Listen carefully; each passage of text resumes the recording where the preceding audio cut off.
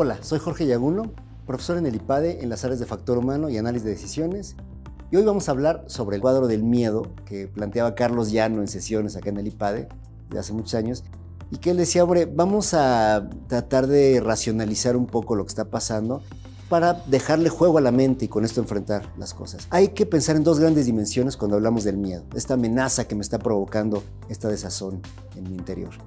La primera es si la amenaza es más fuerte que yo o no lo es.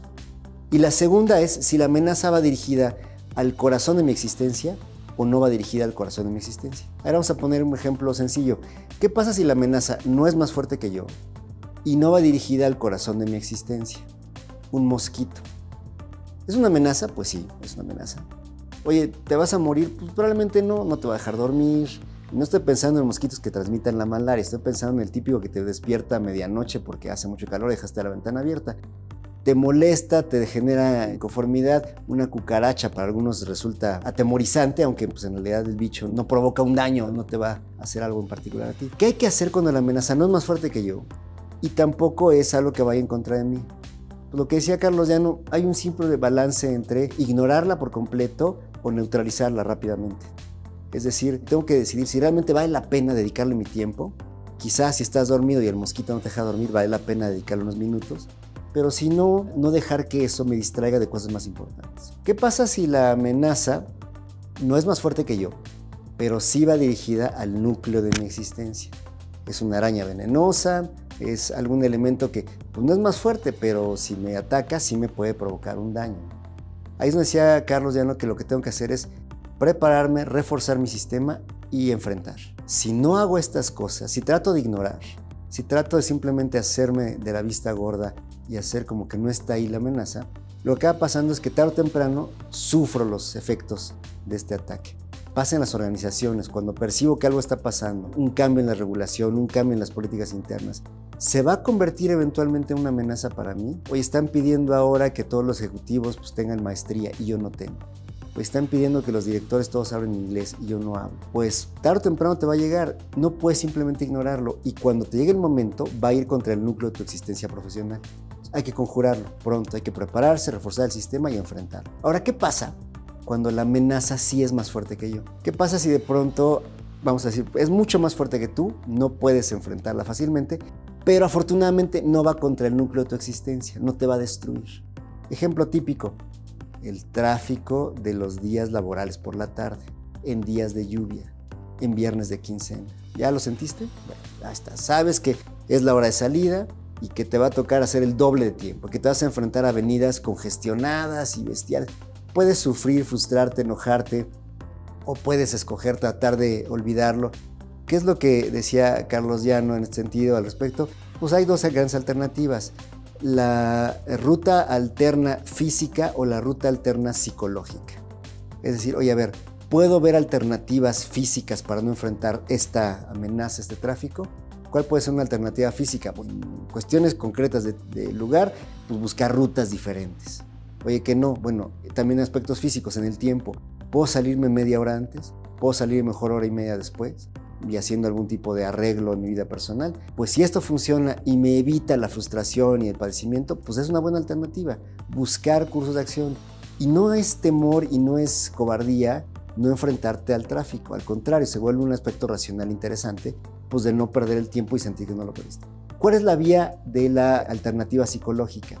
Es decir, no dejar que la realidad que está ahí presente tome control de mí mismo.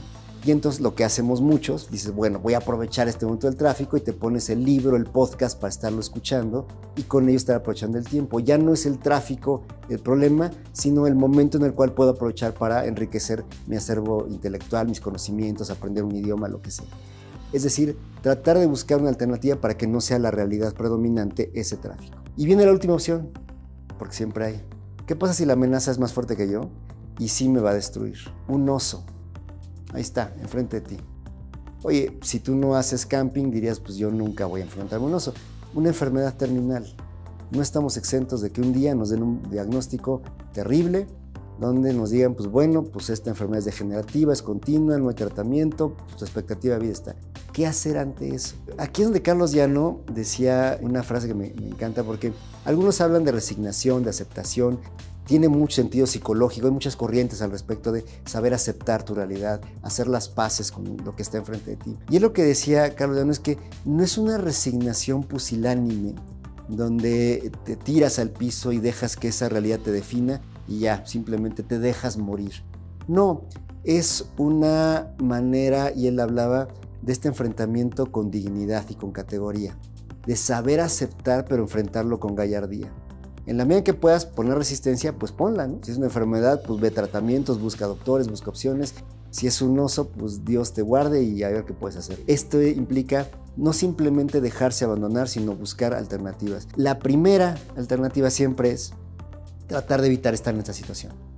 Oye, pues si vas a acampar en Yosemite y sabes que hay osos, pues llévate preparado cosas para alejar los osos. Si estás en una ciudad donde hay mucha contaminación y tal, pues trata de evitar alimentos procesados, trata de hacer una vida sana, que eventualmente pues ayudarán a que estas enfermedades terminales pues no te lleguen tan rápido. Pero insisto, no estamos exentos. Cuando sea inevitable, si no puedo escapar, escapar, decía Carlos Llano, igual que en la alternativa del tráfico, no es cobardía, es algo racional porque es una situación que sí me puede hacer daño, más fuerte que yo. Pero lo importante, si no puedo escapar y si estar enfrente de mí, pues enfrentarla con gallardía, con alegría y sobre todo esta parte que te quiero con eso terminar. Nunca hay que dejar que la realidad nos defina. Hay que saber aceptarla y adaptarla a nosotros para que nosotros definamos la realidad. Tú no te conviertes en un enfermo terminal, simplemente tú dices, oye, padezco la enfermedad, pero eso no me define, no soy un enfermo terminal, soy yo que tengo esta característica, pero eso no va a definir mi vida, porque este pequeño truquito psicológico te permite enfrentarla de manera distinta. Es una de tantas cosas que son mi realidad, que puede ser soy padre, soy hermano, soy hijo, soy estudiante, soy profesor, soy lo que sea, y tengo esta otra característica que no me define, me recompone mi identidad completa. Enfrentar el miedo es una situación además clave para el desarrollo humano. Una persona que no ha experimentado miedos no ha crecido nunca. Entonces, si has experimentado temores, incertidumbres, miedos, y de vez en cuando te has sentido que te falta el aire, que te tienes que quitar la corbata por un ataque de pánico en la oficina, o sientes que las semanas pasan y que no encuentras gozo por la vida que viene hacia adelante y estás en un cuadro de depresión, qué bueno que lo has experimentado porque eso te ha hecho apreciar mejor la vida que tienes. Qué bueno si además decides aprender de qué fue lo que provocó esa realidad y cómo mejorar con ella. Eso es lo mejor que te puedo decir y con eso termino esta, esta conversación. El miedo es una señal, un semáforo que nos habla de una realidad que en su momento el cerebro procesó de una forma y lo que hay que hacer es detenernos, analizar eso. ¿Por qué lo analicé así? ¿Por qué me provocó miedo?